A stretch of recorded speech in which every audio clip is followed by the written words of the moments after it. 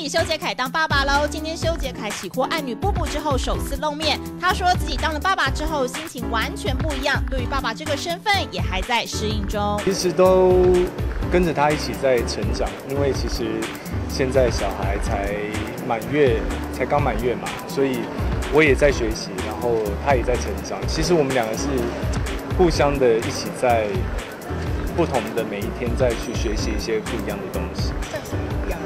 就是我觉得他每天都在变化，每天都在可能他学会哭，学会笑，然后学会上厕所，然后学会一些就是他的生活作息。不过贾静雯生小孩之后，每张照片都看起来超级瘦的，根本看不出来像生过小孩一样，让人好羡慕。但是修杰楷透露，实际上根本不是这么一回事呢。他有一点点小小抱怨是，他没有想想象中。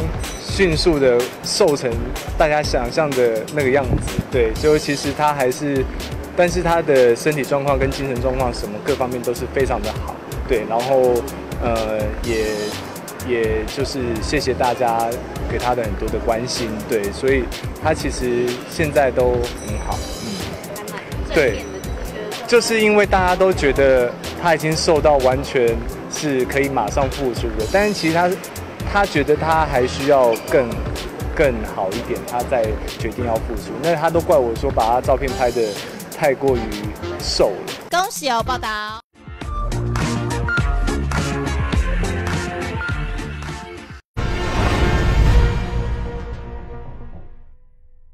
恭喜修杰楷当爸爸喽！今天修杰楷喜获爱女布布之后首次露面，他说自己当了爸爸之后心情完全不一样，对于爸爸这个身份也还在适应中。其实都跟着他一起在成长，因为其实现在小孩才满月，才刚满月嘛，所以我也在学习，然后他也在成长。其实我们两个是互相的一起在不同的每一天再去学习一些不一样的东西。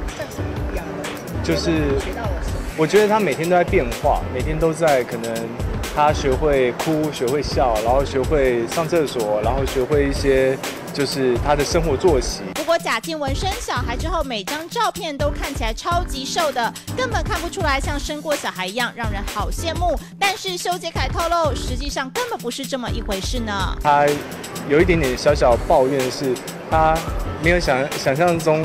迅速的瘦成大家想象的那个样子，对，就其实他还是，但是他的身体状况跟精神状况什么各方面都是非常的好，对，然后呃也也就是谢谢大家给他的很多的关心，对，所以他其实现在都很好，嗯，对，就是因为大家都觉得他已经瘦到完全是可以马上复出的，但是其实他。